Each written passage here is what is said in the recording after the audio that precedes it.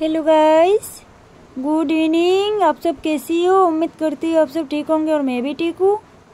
आज मैं आप लोगों के लिए बनाने जा रही हूँ मसालेदार देसी अंडा कड़ी रेसिपी ये रेसिपी बनाने के लिए मैंने ली बॉयल किया हुआ अंडा, कटा हुआ प्याज, कटा हुआ लहसुन, पिसा हुआ अदरक पेस्ट किया हुआ टमाटर, कच्चा मिर्ची, हल्दी पाउडर, जीरा पाउडर, मिर्ची पाउडर कश्मीरी मिर्ची पाउडर, गरम मसाला ऑयल काली जीरा, नमक, लीव। सबसे पहले अंडा में थोड़ी सी नमक डाल रही हूँ, साथ में थोड़ी सी हल्दी पाउडर डाल रही हूँ। नमक और हल्दी पाउडर के साथ अच्छे से मिलाएँगे। ऑयल गर्म हो गई है, अभी अंडा को फ्राई करेंगे।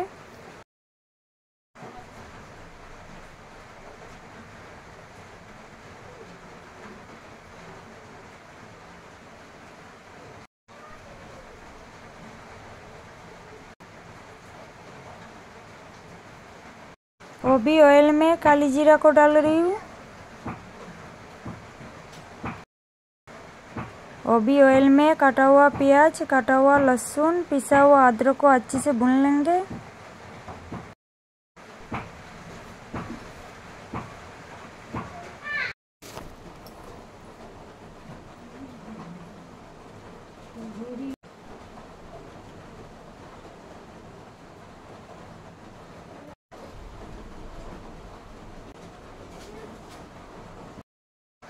थोड़ी सी पानी में थोड़ी सी नमक डाली हूँ थोड़ी सी हल्दी पाउडर डाली थोड़ी सी जीरा पाउडर डाली हूँ थोड़ी सी मिर्ची पाउडर डाली हूँ थोड़ी सी कश्मीरी मिर्ची पाउडर डाली हूँ अभी मसाला को अच्छे से मिला रही हूँ अंडा को अच्छे से फ्राई कर लिया।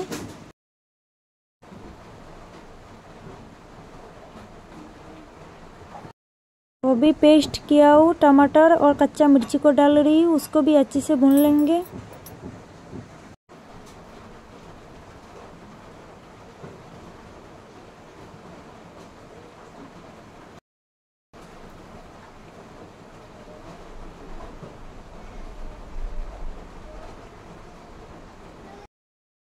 अच्छे से ऑयल में सब कुछ भून लिया अभी मिला हुआ मसाला डाल रही हूँ, मसाला को भी अच्छे से पकाएँगे।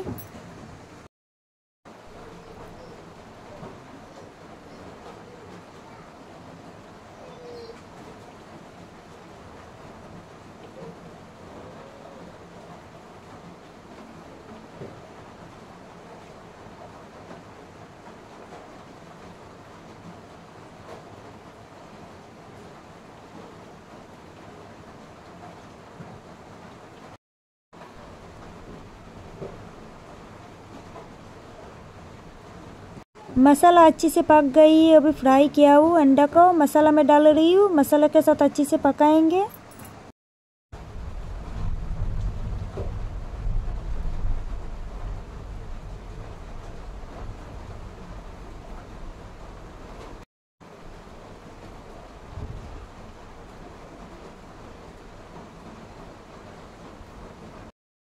अभी पानी को डाल रही हूँ।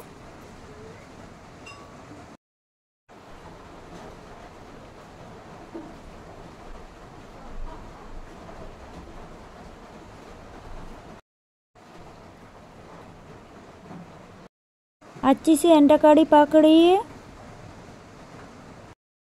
और भी थोड़ी सी गरम मसाला डाली हूँ। गरम मसाला के साथ अच्छे से मिला रही हूँ। अंडा कड़ी अच्छी से पक गई है। न्यू रेसिपी, मसालेदार देसी अंडा कड़ी तैयार। Please subscribe to my channel stylish cooking Pyali.